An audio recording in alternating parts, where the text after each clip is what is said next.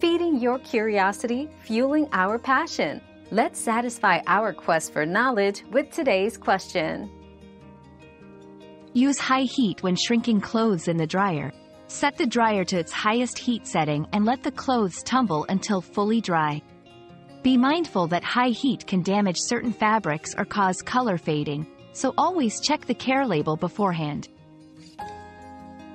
Another mystery solved, but many more await.